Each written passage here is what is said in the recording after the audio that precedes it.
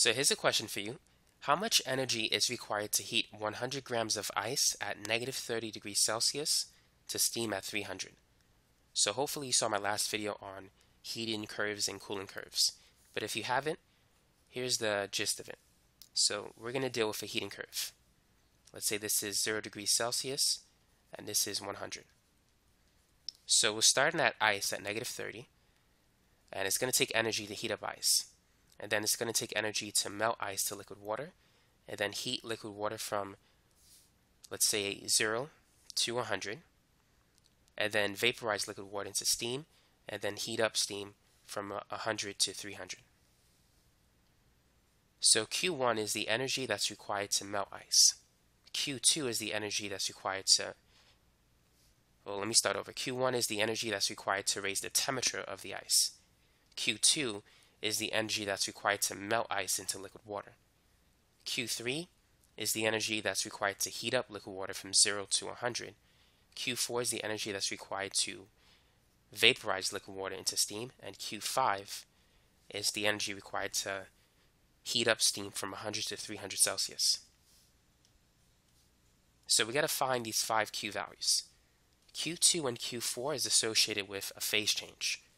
So you can find an answer using this equation, n times delta H. And Q1, Q3, and Q5, those are associated with a temperature change. So you can calculate those values by using MC delta T. Now there's one thing I need to give you, or you could look it up in your textbook, and that is the enthalpy of fusion for water, which is about 6 kilojoules per mole, and the enthalpy of vaporization, which is 40.7 kilojoules per mole. So if you want to pause the video and try this problem, feel free. So first, let's calculate Q1, the energy that's required to heat up ice from negative 30 degrees Celsius to 0 degrees Celsius. So that's going to be mc delta T. So the mass is 100. The specific heat capacity for ice is 2.03 joules per gram per Celsius. And the change in temperature, we're going from negative 30 to 0, so that's positive 30. So this is 100 times 2.03 times 30. So that's going to be 6,090 joules. Now for Q2 and Q4, I'm going to use a conversion process. But basically, I need to convert grams to moles and then take the moles and multiply by kilojoules per mole to get the energy in kilojoules. So in that case, it might be wise to convert our value for Q1, which is in joules, into kilojoules. To do so, divide it by 1000. So this is going to be 6.09 kilojoules. So I'm going to save that answer for later. Now let's focus on Q2. So we have 100 grams of ice. And ice is basically H2O. And the molar mass of water is 18 grams per mole. So we're going to divide 100 by 18. So the unit grams cancel. So now we have moles. Now let's multiply by 6 kilojoules per mole. So the unit moles cancel. And so this is going to be the amount of energy that's required to melt 100 grams of ice. So it's 100 divided by 18, which is about 5.56 moles times 6. So this is going to be about 33.3 kilojoules of thermal energy. Now let's move on to Q3. So we're going to use this equation again, mc delta T. So the mass is still 100, but this time we're dealing with liquid water, so we need to use the specific heat capacity of liquid water which is 4.18. Now this is in joules per gram per Celsius. Because it has joules, our initial answer will be in joules. And the change in temperature, we're going from 0 degrees Celsius to 100 degrees Celsius. So that's an increase of 100. So it's 100 times 100 times 4.18. And so this is going to be 41,800 joules. And let's divide that by 1,000 to get it in kilojoules. So that's 41.8 kilojoules of thermal energy. That's required to heat up 100 grams of water from 0 Celsius to 100 degrees Celsius. Next, let's move on to Q4. So we need to use this process again. So we're going to start with 100 grams of ice and then divide it by 18 to get moles. And then multiply that by the enthalpy of vaporization, which is 40.7 kilojoules per mole.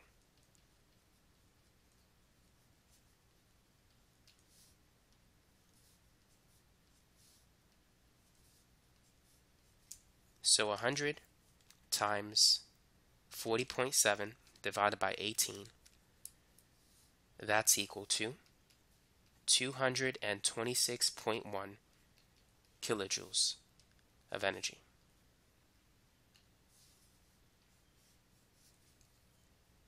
So now the next thing that we need to find is Q5. So that's a temperature change problem, so we got to use this equation again. So it's the mass, which is 100, times the specific heat capacity of steam, which is 2, and then multiplied by the change in temperature. So we're going from 100 degrees Celsius to the final temperature of 300 Celsius. So that's an increase of 200 degrees Celsius. So it's 100 times 2, which is 200, times another 200.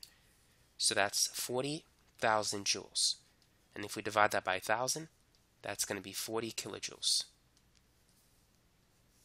So now we have the values of Q1, Q2, Q3, Q4, Q5. So to calculate the total energy for this process, it's simply the sum of those values. So we're going to add Q1 with Q2, Q3, Q4, and Q5. So all we got to do is add the highlighted values. So it's 6.09 plus 33.3 plus 41.8 plus 226.1 plus 40. And so the total energy is 347.3 kilojoules. Now notice that the bulk of this energy came from the vaporization of liquid water into steam. And so it takes a lot of energy to vaporize a liquid into a gas, as you can see. If we divide 226.1 divided by 347.3, I mean, that gives us a ratio of 0.65. So 65% of the total energy of this process was due to the vaporization of liquid water into steam. And if you think about our coolant system, let's say if you're hot and it's a hot, sweaty day, or let's say if you're in the desert and it's dry outside, but it's also hot. When your body temperature is very high, your body begins to sweat. And so, as water evaporates from your face into the dry environment, it cools you down. So, one mole of water will take away 226.1 kilojoules of thermal energy away from your body.